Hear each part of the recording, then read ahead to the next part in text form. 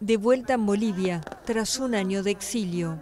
El expresidente Evo Morales volvió a su país el lunes, al día siguiente de la investidura de su delfín político Luis Arce. Lo hizo cruzando a pie el puente que une la localidad argentina de La Quiaca con la boliviana de Villazón.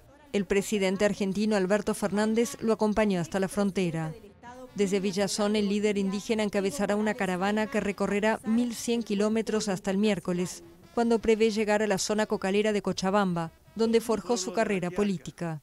Morales renunció a la presidencia el 10 de noviembre de 2019, tras perder el apoyo de las Fuerzas Armadas. Al día siguiente viajó a México y semanas después, en diciembre, se refugió en Argentina. Tuve esa oportunidad, gracias a la unidad del pueblo boliviano,